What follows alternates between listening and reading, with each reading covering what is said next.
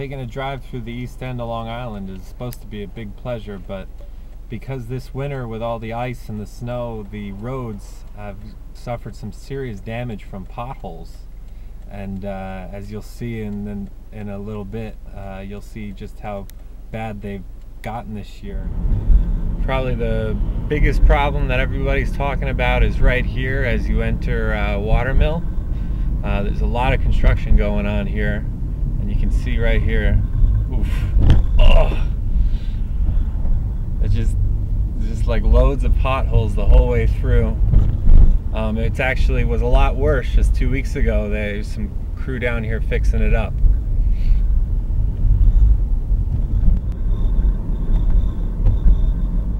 Just a minute up ahead. Oof, this whole line of road right here just loaded right at 27 East. Oh man, that's so bad for your car. it's just not a good way to enter the Hamptons. This is this is like the beginning of the Hamptons. All here. Look at this. Look at all this. Look at all these potholes here. Oh my. Just driving by right by Hampton Coffee. More. More divots. Ah. Oh, this is so bad for my guys. Road crews this year definitely have their work cut out for them. I'd be one unhappy guy if I was a Hamptons Maserati driver cruising along 27 in one of these and suddenly hitting a patch of road like that.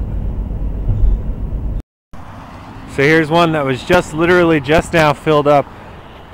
I, I just ran into some uh, of the highway, uh, some of the highway guys and they're going to show me how they fill fill up the potholes. They're working on it right now.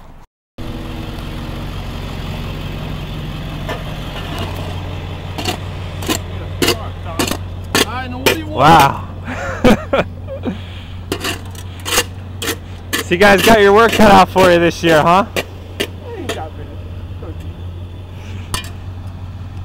These shit, the potholes are worse this year or no?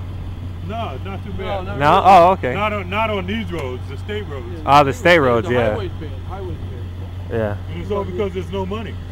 No money in the budget. Yep. You know, thanks to uh, whatever. Well, I'm glad you guys are doing these at least. Do what we can with what we got. It's definitely important to clarify that uh, 27 is a state road, so the towns uh, aren't responsible for them. So hopefully we can get, you know, some of the state guys to come in and fix these roads. Just so you can get an idea of what kind of damage potholes can do besides flat tires. You can see this cracked hubcap right here. That actually happened to my car uh, just the other day. 100 bucks to fix. So